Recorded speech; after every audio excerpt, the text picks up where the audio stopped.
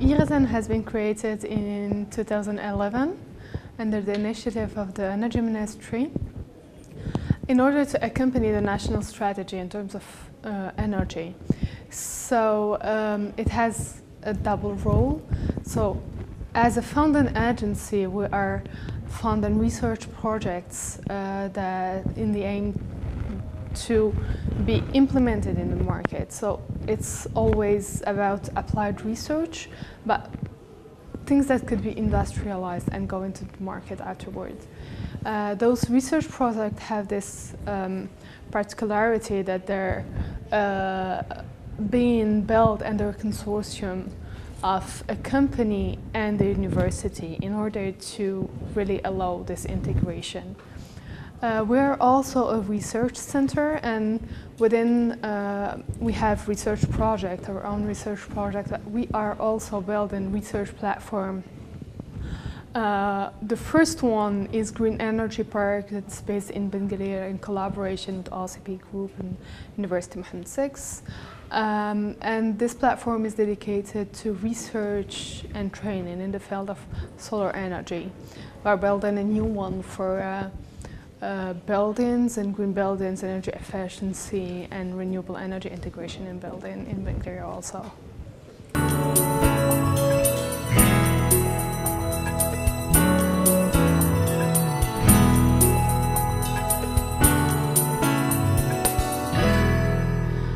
Um, the Africa is not the most, I, I would say, uh, is not the country that pollutes the most, but it's rather the country that is suffering the most of this of this pollution and those emissions.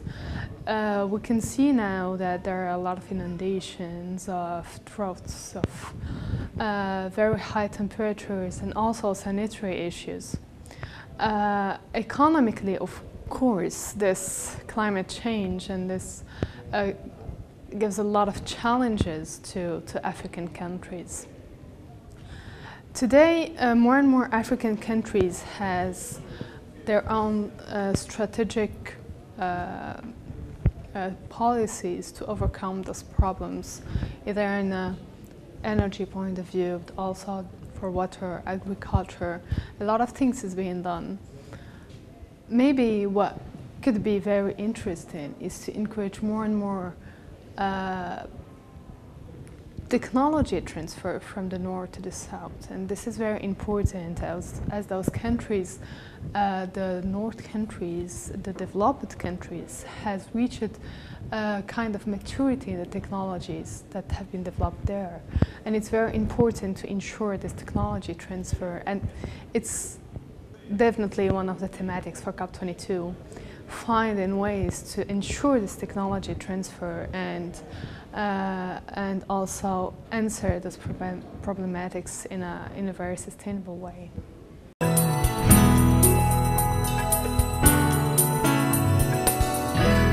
Moroccan energy strategy is a very ambitious one and um, we're very proud to be part of it. Um, there are two main points. One concerning the renewable energy, and then the other one concerning energy efficiency. For renewable energies, uh, we are um, uh, we want to have uh, to ensure uh, how do we call it to ensure a share of 42% by 2020 from renewable energies. Noor project is rather a very important project uh, and um, for the Moroccan energy strategy as it's for solar, uh, solar thermal energy, also photovoltaics. Uh, concerning, and in uh, COP22 we have uh, increased this, uh, this share to 52% by 2030. Concerning uh, energy efficiency, the national strategy has, uh, has put put, put a focus, a very important focus on energy, uh, on, uh, energy efficiency, because of course, as we know, the uh, the most important energy and the cheapest one is the one that we haven't consumed. So it's very important to uh, to enhance those, and it it was very focused and very uh, spotted in the national strategy.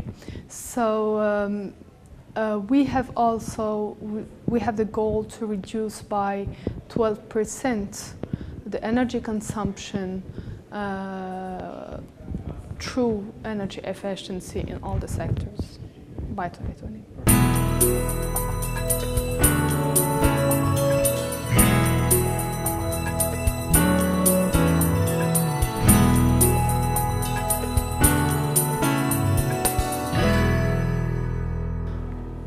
I believe that this decline is a momentous thing. And what we do here is really on the long term. It's not something that's just for for this period. We are really investing on long term. I think I, I believe with renewable energies. So does uh, the price of fuel really affect it? No. I really think that it's more about this independency uh, and achieving some independency with renewable energies is really maybe it's not viable and I think we should calculate this to be very um, very uh, sure of it but maybe it's not viable from an economic point of view but it's really uh, more than important from a uh, strategic point of view. And to my point, it's, it's the most important thing right, uh, right now.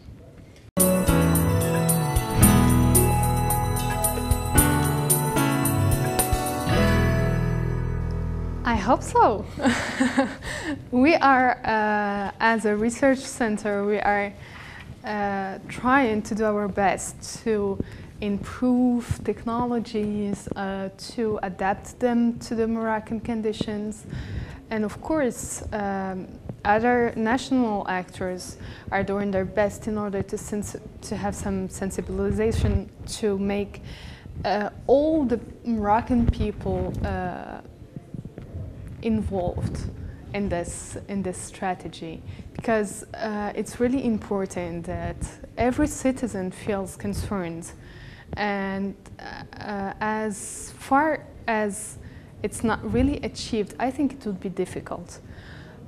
But as soon as we could do this, have some, uh, have some awareness uh, in the citizen toward renewable energies so that he could invest, and this is very important, uh, we could also implement some policies to maybe help this investment uh, on a on a, not for big power plants uh, as it's the case for uh, the ones that are that are already existing in Morocco, but we really need to to have this dynamic in each house uh, not only uh, for renewable energies, but also for energy efficiency. And as soon as we could have this dynamic, I'm sure that we could really have a, if it's not all our needs, then at least a very big part of it.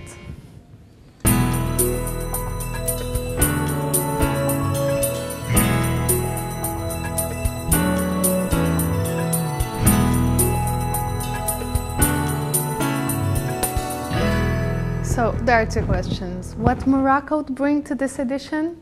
I would definitely say an African uh, perspective. Uh, I really think that the position of Morocco in the African group and the needs also uh, are meet with, with the, the African community needs. So uh, they will definitely bring an African uh, voice in the table. Uh, and they will also uh, bring uh, uh, what we what we try to do is to have answers and uh, actions rather than just decisions. So this is, as the Minister of Environment all, um, always says, uh, it's an action COP, uh, not the decision one. We need to take actions to find mechanisms and real actions by all the, the parties. Sorry, I thought the other one?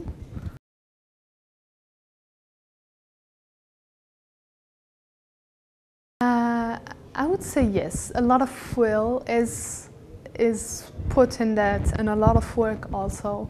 I know that all the parties are working very hard to uh, to prepare the COP first, and I know that uh, all of them are really willing to uh, to have all their roles and all their heart done in this, and yes, it will meet the expectations.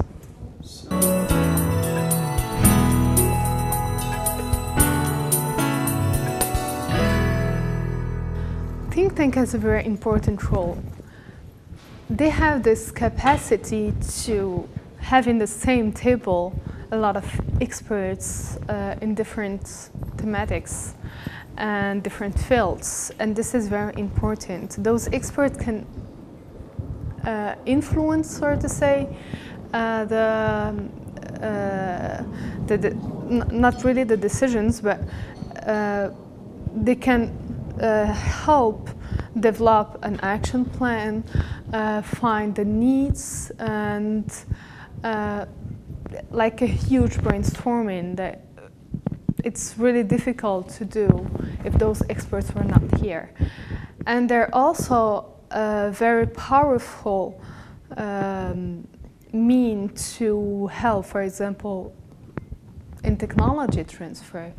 Uh, when we have such number of experts on the same table, we could easily uh, bring, uh, yeah, discuss about things we need and do partnerships that could easily uh, help us do this technology transfer. So.